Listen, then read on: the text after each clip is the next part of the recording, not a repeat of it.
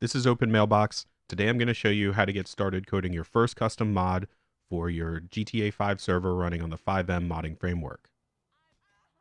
The assumption is that you already have your FiveM server running. If not, check out my previous video uh, with instructions on how to set up your FiveM development server. Let's talk a little bit about the architecture of a FiveM server. A FiveM server is a collection of resources. Each resource is a mod. There's uh, servers that are made up of dozens or even hundreds of resources or little mods that are all working together to deliver the custom uh, functions and code and everything else that you see when you're playing on a, on a FiveM server. So we're going to make our own custom resource, a very small one, just to figure out how all of these things work together. So the first thing you're going to do in your directory where your where your server.cfg file is, you're going to go into the resources directory.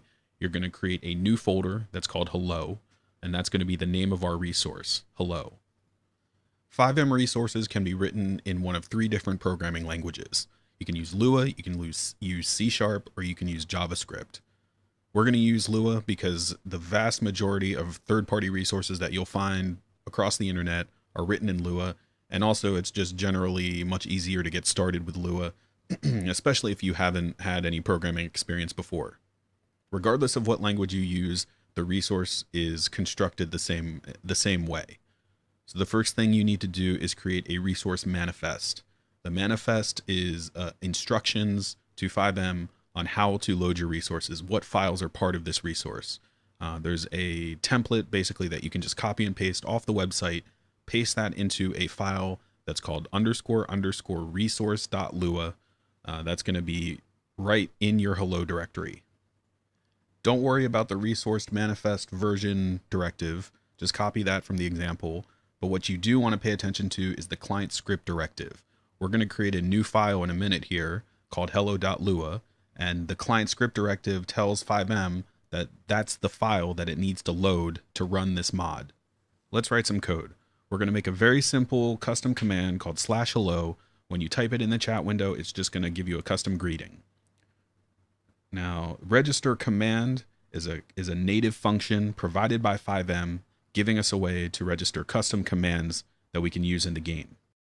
The other native function that we're going to use is trigger event that broadcasts an event to all of the other resources or all of the other code that's running on the client uh, and and some other mod that's out there in, in this case the chat resource will be listening for this for this event that's called chat add message and we're going to pass it a few other arguments here in order to indicate uh, what type of message we want to show. When you're done writing the code, go to your server.cfg, add a line that says ensure hello to make sure that the server knows to start this resource at startup time. Now, once that's done, we could shut down the server and restart it to, to, for all of this to get loaded, but there's an easier way. If you go back to your window where your server is running, you can type refresh and that will tell FiveM to look through the resources directory for any files it wasn't aware of before. And then after that, you can type ensure hello, and that tells FiveM to make sure that the hello resource is now running. So in this way, uh, whatever changes you, you make, you can hot reload the code. You don't have to restart your server every time to test the code that you're writing. Now go into your game, type T to bring up the chat window, type slash hello, and you should see your hello world greeting. We're not quite done yet. We're, we're going to make one more modification to our command. We're going to use one more native function called get getPlayerName. Uh, we're going to use the source variable that was passed in to this function by the by the command itself, uh, and getPlayerName is going to return the the registered Steam name in this case of the connected person. So it's going to say open mailbox, right? And then I'm going to interpolate that into the into the string that I'm sending into the chat window so that I can say hello to myself. Once that's done, again, go to your server window, type ensure hello. It will restart the hello resource because you need to reload that code.